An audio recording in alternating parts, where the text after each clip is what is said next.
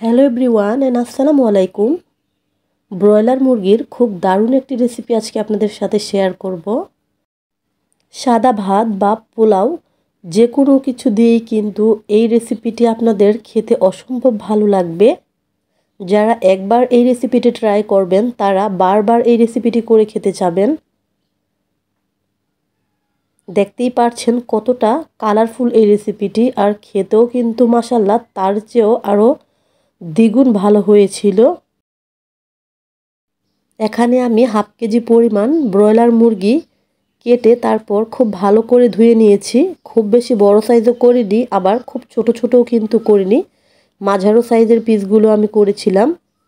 Fry প্যানে আমি পর্যাপ্ত পরিমাণ সয়াবিন তেল গরম করে নিয়েছি।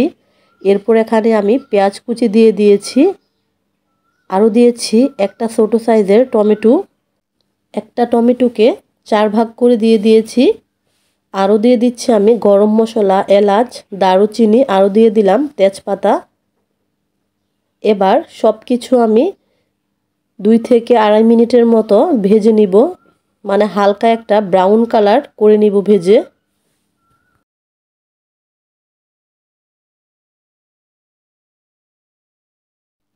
এরপর দিয়ে দিলাম এখানে আমি দুই চামচ আদা আর রসুন বাটা।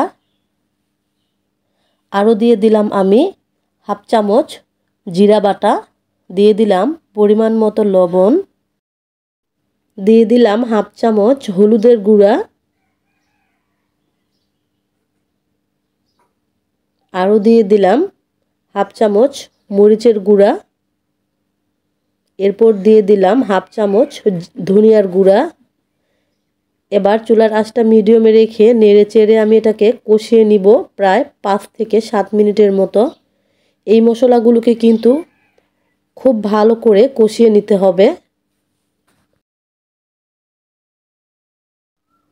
এই মশলাটা কষানো যতটা ভালো আসবে, এই রেসিপিটিও কিন্তু খেতে ততটাই ভালো লাগবে। খুবই ভালো করে মশলাটাকে কষিয়ে নিতে হবে। উপরে যখন তেল ভেসে উঠবে তখনই মনে করতে হবে খুব ভালো করে কষানো হয়ে গিয়েছে। এই পর্যায়ে আমি মুরগির পিসগুলো দিয়ে দিচ্ছি। এখন আমি নেড়ে চেড়ে দিচ্ছি। আপনারা যারা আমার রেসিপিগুলো দেখেন, তাদের সবাইকে অনেক ধন্যবাদ। আর যারা আমার চ্যানেলটিকে সাবস্ক্রাইব করেছেন, তাদেরও অনেক ধন্যবাদ। আর যাদের আমার রেসিপিগুলো ভালো লাগে প্লিজ একটি করে লাইক দিবেন। চুলার আঁচটা কিন্তু এই পর্যায়ে একদমই মিডিয়ামে রেখেছি।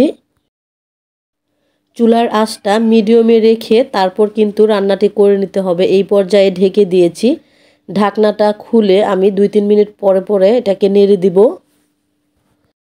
খুবই ভালো করে দশ থেকে পনেরো মিনিটের মতো চুলার আঁচটা একদম মিডিয়ামে রেখে এই মাংসটিকে কষাতে হবে। এর টেস্টটা কিন্তু এই জায়গায় চুলার আঁচ একদম মিডিয়ামে রেখে এটাকে যত কষিয়ে নিব, এর টেস্ট ততটাই ভালো আসবে, দেখতেই পারছেন। খুব সুন্দর মতো কিন্তু কষানো হয়ে গিয়েছে, উপরে সুন্দর তেল ভেসে উঠেছে। এই পর্যায়ে আমি আবারও নেড়ে চেড়ে দিব। দিয়ে দিলাম আমি চার পাঁচটা কাঁচামরিচ। কাঁচামরিচের ফ্লেভারটা কিন্তু খুবই ভালো লাগে। এই পর্যায়ে আমি অল্প একটু পরিমাণ পানি দিয়ে দিয়েছি। দেখতেই পারছেন, চা চামচের দুই থেকে তিন চামচ পানি হবে।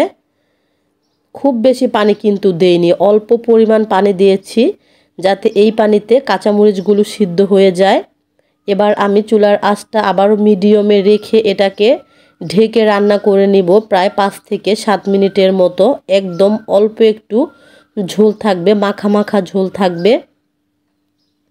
দেখতেই পারছেন, মাংসটি কিন্তু রান্না করা হয়ে গিয়েছে, কতটা সুন্দর লাগছে আর খেতেও মাসাল্লা অনেক অনেক ভালো হয়েছিল। আশা করি আজকের রেসিপিটি আপনাদের ভালো লেগেছে। যদি ভালো লাগে, অবশ্যই একটি লাইক দিবেন আর সবাই এই রেসিপিটি একবার হলেও ট্রাই করবেন। সবাই খুবই ভালো থাকবেন আর সুস্থ থাকবেন। আজকের মতো এখানেই বিদায়। আল্লাহ হাফেজ।